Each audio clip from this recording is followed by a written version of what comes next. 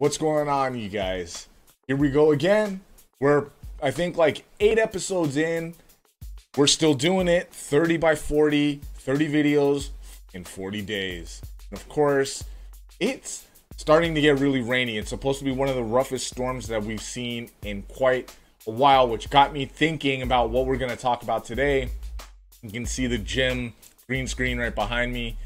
Got me thinking about something uh, about another time where I was in a gym and the rain or Mother Nature kicked our ass and proved once again that Mother Nature, despite all of her power or despite all of her maybe sensitivity, always wins.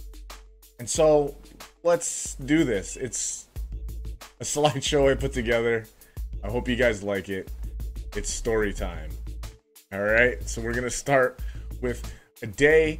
We're gonna start talking about this training through adversity, right? Or any thunderstorm. This is a story about how myself, a couple other trainers, and a whole bunch of members inside the gym got our asses handed to us by Mother Nature, but came out on the other side having a little bit more toughness. All right? And we did it by helping each other by working together, by form by forming a Voltron, becoming a team. Like this was in 2008. This is look, if you type in gyms, this is just inside of San Jose. Look at all this. You could throw a pebble and hit a gym. Well, back back back in 2008, there was like half, maybe a quarter of all these places, right? And this was our gym, very Spartan. Okay, it was on Alma and 87. It was really small. It was like a thousand, twelve hundred square feet. It was pretty beat looking. It looked like um, it was built in the 30s. It had, you know, the drywall, no concrete anywhere to speak of.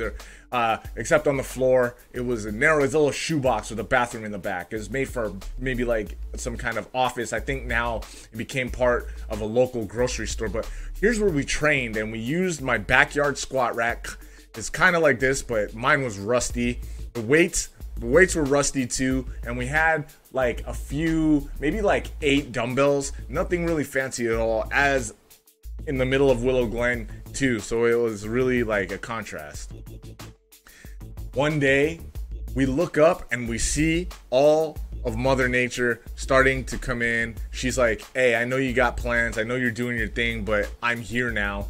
So we're gonna, I'm gonna start showing you what's up, right? I don't know, maybe we got too comfortable with our situation. So here we are in the gym training, and well, the ceiling starts to fall down. All those tiles up here, we had a bunch of these tiles. They started to fall, fall, fall, fall until until one day, man, all of them fell, and this was pouring like a waterfall. It wasn't just leaks; it was a waterfall. And what happened was we had to figure out a way to come together. How are we gonna do it? Right? Because as we're inside the gym looking to the back and the leak is getting worse, we're training. So as we're training, it starts to pour, and then all of a sudden it just collapses, and we're like, uh oh. We had to call in the troops. We called the landlord. The landlord said, um, lucky for the landlord, as apathetic. He didn't give a damn about us, but we kept the pressure on him and we're like, yo, what do we do? So we took, we got everybody together and we started picking up the dumbbells, the barbells, and moving them into the next space, the space next door, right? So we had this gym here, we had this, we picked it up. Maybe someone helped me pick this one up and we got the barbells together and we got the dumbbells and all the bands and the in the in the heavy bag and the heavy bag rack and we moved it over into the next Oh man, into the next gym. It was just like this. In fact, this is a little bit nicer than what we moved into. The new gym was bigger. It had big ass windows facing the street. It had two doors.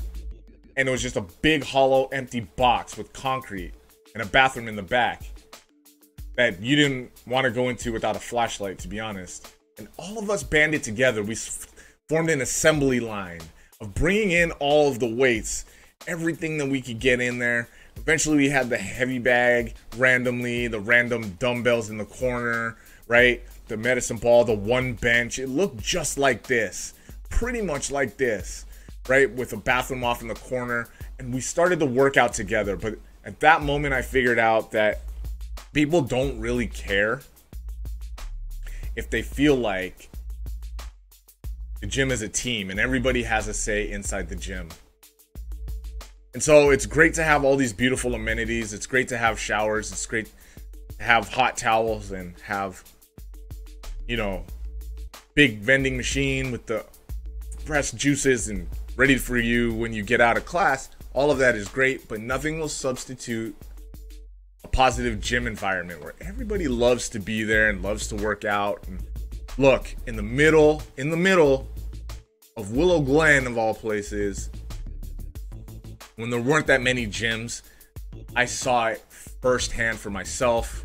And I'm lucky enough to say that we've come a long way as we venture back into the gym that we're at. So remember, when Mother Nature, you know, has plans or any really big force of nature, you're only as strong as you are with your team. You're only as strong as is the support you have with your team. And that team is only as strong is only strong if they believe if they believe in the rest of the team. We're men, women, children, whatever. We're never an island, right?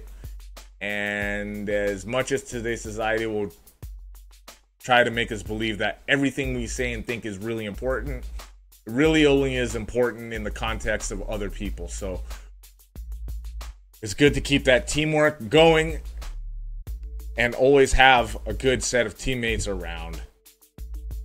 Right? I'll see you on the next one.